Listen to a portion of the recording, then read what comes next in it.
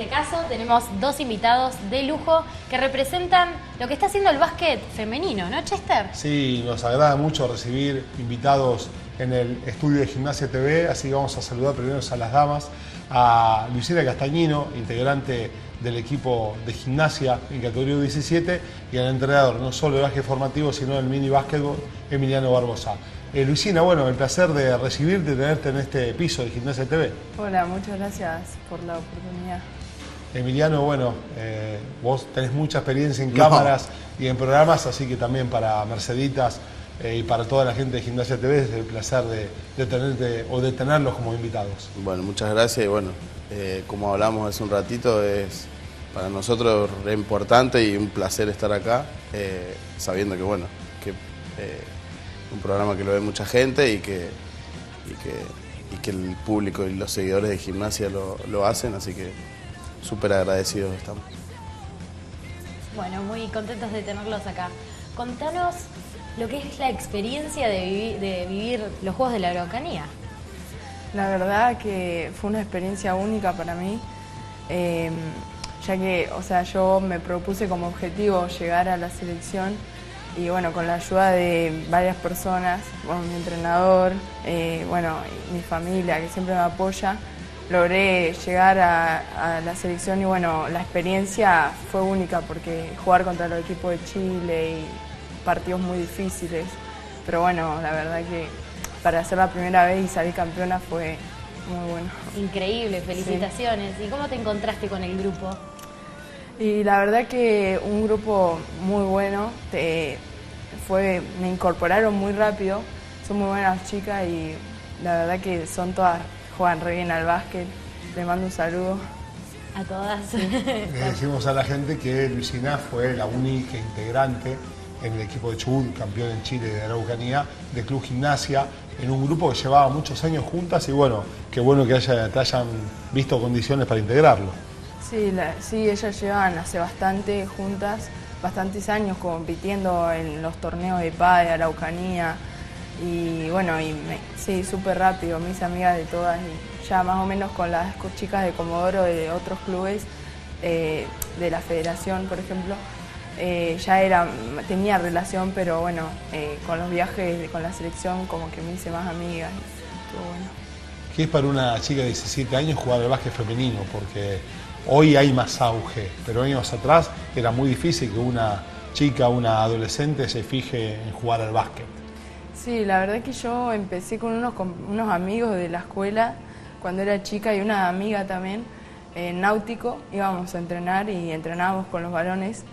Y bueno, y no, mucha, era como que le daban más ímpetu a los varones, pero la verdad que, o sea, las mujeres teníamos partido y eso, y bueno, después se fue dando y las situaciones y bueno, en gimnasia la verdad que tenemos muchos partidos, cada fin de semana hay un partido y te dan muchas ganas de seguir, eh, mucho estímulo para seguir en el deporte. ¿Y al básquet lo ves como algo, como carrera profesional? ¿O lo pensás seguir a futuro? Sí, yo más que nada pienso hacerlo como un deporte extra para ya ahora lo veo como algo, una pasión que tengo pero cuando sea más grande pienso estudiar medicina y bueno, dedicarme a jugar al básquet si es posible en algún club o algo, a nivel de hobby, cosas así. Está bien, bárbaro.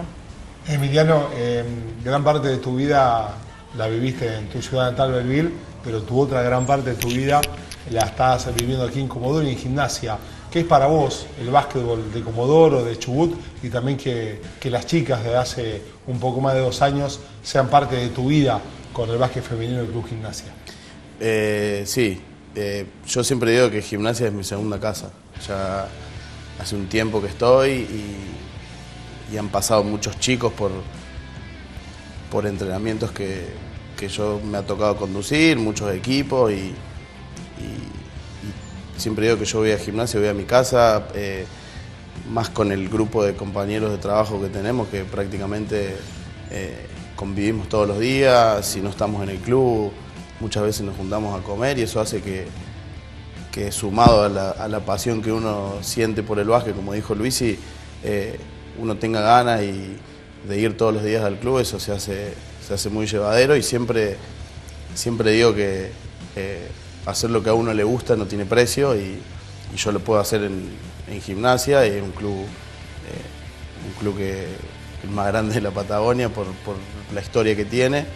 Y, sí, el básquet femenino le ha dado eh, le ha dado otra, otra vida al club, le ha dado una, eh, por ahí una vida social que no tenía y, bueno, y yo también adaptarme a, a dirigir a chicas, este, que no es fácil, pero, pero la verdad que no, son, son excelentes, son buenas personas sobre todo, que es lo más importante y eso por ahí hace mucho más fácil eh, la construcción de un equipo y enseñarles lo que, lo que se trata del deporte y bueno, la verdad que lo hacen bárbaro y, cada vez hay más chicas en el club, que bueno, eso eh, también es importante, bueno, tanto chicas como chicos. Justo eso te quería preguntar de cómo es este desafío de, entrenar mujeres a comparación de, hombres, ¿no? Porque a veces podemos llegar a ser un poquito más complicadas.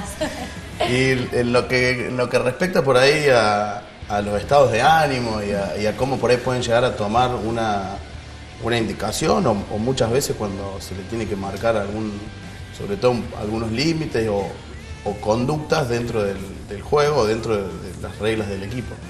Eh, ellas creo que ya saben cómo soy eh, y no, no, no, no hay ningún tipo de problema y lo entienden. Y me parece que cuando cuando ellas empiezan a ver que, las cosas por ahí se empiezan a dar, eh, es como que, como que creen en lo que uno hace, eh, que lógicamente también no es la, verdad absoluta, sino que muchas veces lo hace desde, desde el conocimiento que uno por ahí tiene. Y, y sí, es, complicado porque, bueno, eh, no siempre vienen igual a entrenar, predispuestas, y, eh, pero con el tiempo te vas acomodando. Ellas se fueron acomodando a mí, yo me fui acomodando a ellas y la verdad que eh, tenemos buena relación y, creo que también, también eso hace que, sea lindo para ellas entrenar y bueno, y las puertas que se le empiezan a abrir a cada una. Nosotros tuvimos este año la posibilidad de que a principio de año tres chicas del club participen de PADE eh, y después del argentino Edu 14 tuvimos a, cuatro chicas integrando el seleccionado de la provincia y bueno, y Luis y ahora en la Araucanía, eh, que me parece que por ahí eh, para uno que está dentro del club y sabe cómo son, cómo son las elecciones de, de- de las chicas y demás, no solo que es un, bene- un- algo es lindo para, para las chicas nuestras, sino que también para el resto que, que sepan que, que- que entrenando lo puede lograr cualquiera, Sí, lo gratificante de- del trabajo. seguro. ¿Y qué vuelco tuvo el básquet femenino? Porque cuando comenzaron en octubre de 2014 era una actividad más del club. Había muy pocos equipos, no había mucho interés sacando Federación Deportiva y desde septiembre de 2015 en adelante hay auge, hay actividad y por eso estos resultados, Emiliano. Sí, sí, eh, Federación es un club que viene trabajando hace muchos años, lo viene haciendo muy bien. Eh, y cuando nosotros iniciamos eh, el básquet femenino, lo hicimos en principio como para empezar a juntar chicas, empezar a armar los grupos y la verdad que se nos dio todo muy rápido, porque también después nos dimos cuenta que era una actividad que tenía mucha demanda de chicas y que había muchas chicas eh, que iban a ver partidos de liga, que iban a ver básquet, a sus amigos, a sus hermanos.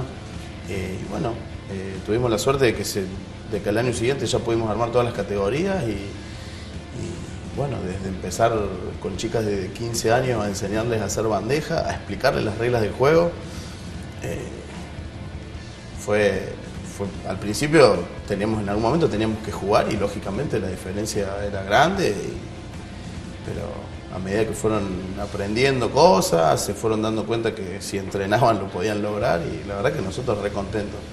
Eh, en el femenino está la profe Laura también trabajando con las más chiquitas, ya está en el grupo de mini y premini, eh, con Piero Ronconi, eh, Juan, Juan también está trabajando con la sub 13, sub 15 junto con Laura Villagrán, o sea, somos varios que, que nos estamos dando cuenta que, que las chicas es como que quieren cada vez más y lo, lo consiguen fruto de su entrenamiento y de su sacrificio. Lucina, de las primeras prácticas que te querían hacer enseñar cosas que capaz no te salían, ¿cómo tomabas esos momentos y hoy ¿Vos le enseñás cosas a él o todavía No, todavía no, sí, siendo entrenador.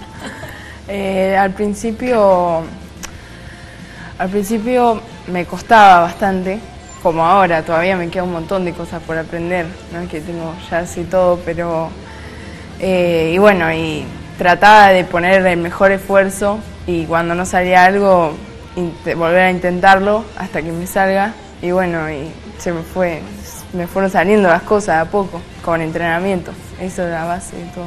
Y sí, la base de todo en la Sí. vida, para todo. Y vos, Emiliano, hace un rato decías que, bueno, las chicas ya conocen cómo sos, así que quiero preguntarle a Luisi eh, que nos cuentes cómo es el entrenador. Ojo con lo que va a reír. Ojo que después hay entrenamiento. Y nada, es, yo creo que es uno de los mejores entrenadores que tuve. Yo cuando jugaba, bueno, en náutico y cuando jugaba al hockey igual, eh, tuve varios entrenadores y bueno, a mí me, me encanta porque siempre está, eh, pone al grupo por sobre todo y, y bueno, el equipo es lo principal y bueno, y trata de, si te ves mal, de subirte el ánimo y hacer que te salgan las cosas hasta que... Y bueno, y a veces que cuando estamos en una práctica mala, no nos salen las cosas, nos tiene cortita todo. Con la alegría de tenerlos aquí, Emiliano, eh, ya termina el año, sí, me parece que termina un 2016 fantástico. Hay que invitar a que más chicas y más chicos participen en el 2017 en gimnasia. Estaría bueno tu mensaje para los que entrenaste en todo este año y para los que se podrían sumar para el 2017 en el básquetbol de gimnasia en otro año más de, mucha actividad. Esperemos que sea así. Sí, sí, sí. Siempre tratamos de buscar siempre que más chicos jueguen básquet. Eh, y bueno, por suerte en el club, eh, no es porque est- estemos, esté yo dentro del plantel de profes, pero estamos, gracias a Dios, muy organizados y, tenemos divididos lo- los chicos por edad eh, y cada práctica está a cargo de un profe, de un entrenador y, se le da la misma importancia al chico de cuatro años como al chico que el sub-23 que está jugando el torneo local.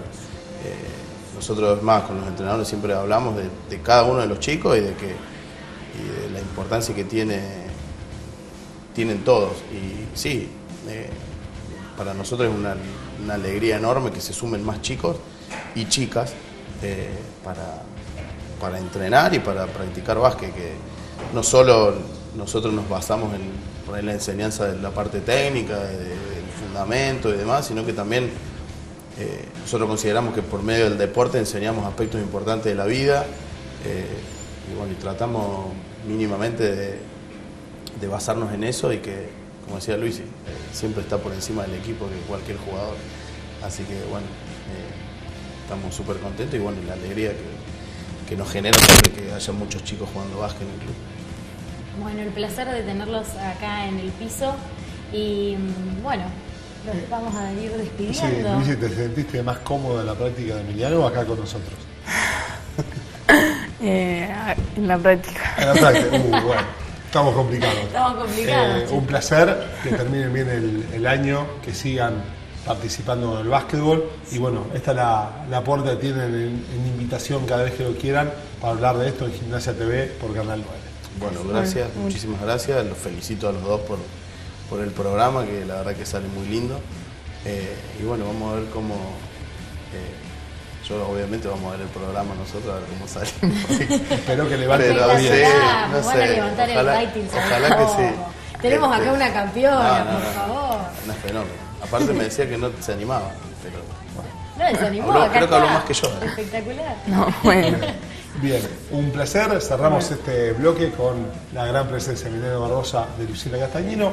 Eh, cerramos el bloque, se viene el último ya de Así este es, tercer programa. se viene el último, no te muevas de ahí, que ya volvemos con más Gimnasia TV.